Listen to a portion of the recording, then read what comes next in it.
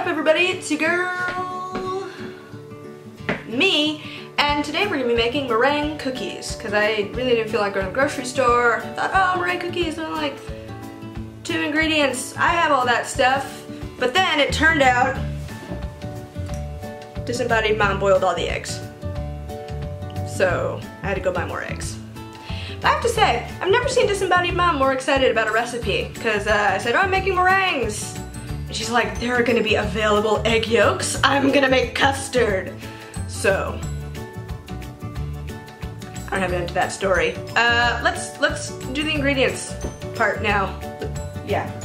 You will need eggs, sugar, salt, and cream of tartar. Can someone explain to me what cream of tartar is? Because I still, I still don't know. Anyway, on to the, the cooking part.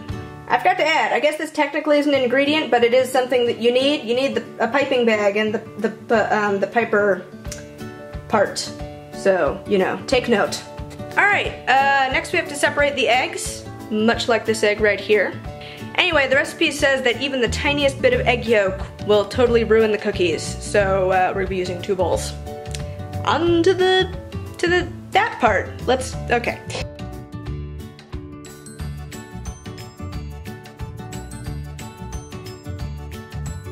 I totally forgot about where I'm supposed to put the egg yolks.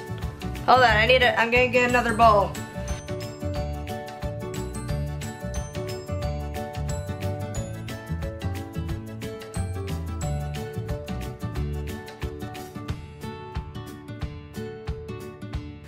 Alright, we did it. I totally forgot to use this bowl, but whatever. Alright, on to the next step. Alright, so we have four eggs worth of egg whites. One cup of sugar.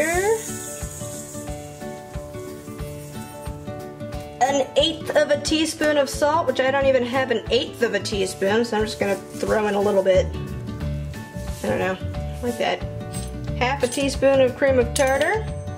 And uh, one teaspoon of vanilla extract, which I totally forgot to put in the ingredients list. Alright, there we go.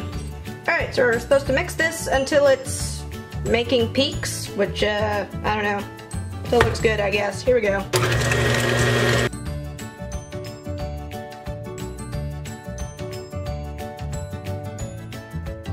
Okay, let's see if it, is it, no, that's still very gooey. Alright, let's keep going. Nope, still gooey.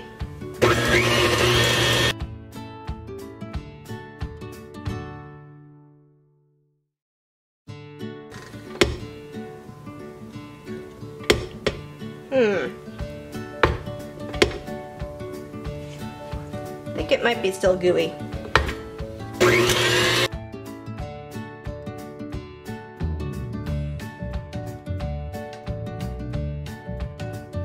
My goodness, that looks wonderful. It's got, um, peaks. All right, let's go do the piping part now.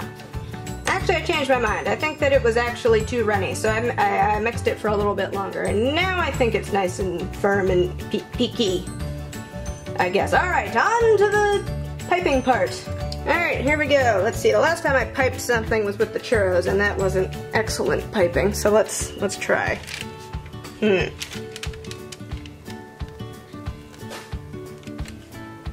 Um, what do you think, disembodied mom? I think I think it might be too too small.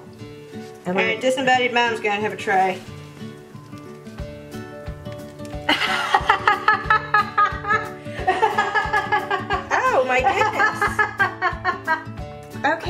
So there's a hole in the bag. it's almost like this piping bag that was bought in 2001 might actually not be the most sturdy. Okay.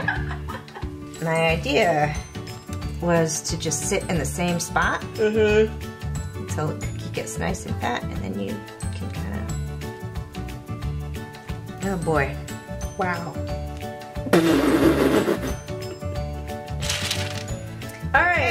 we're gonna cut and uh, figure out how to salvage this. All right, uh, I think I'm just gonna spoon it out, and I'm kind of interested to see how this blobby monstrosity turns out here in the corner. So, uh, I'm just gonna spoon it. All right.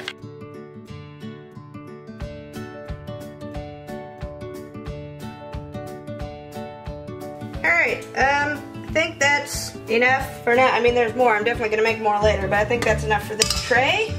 So let's uh, put it in the oven for an amount of time that I'll update you about later because I forgot to read the uh, recipe about it.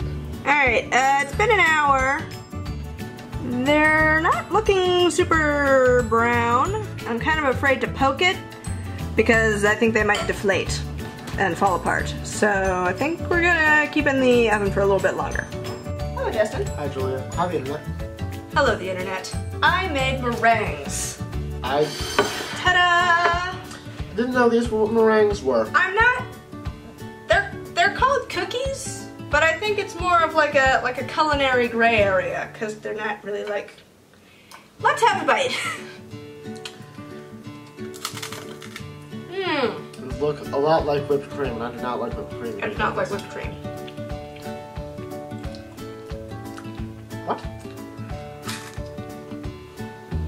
What? It's kind of like cotton candy.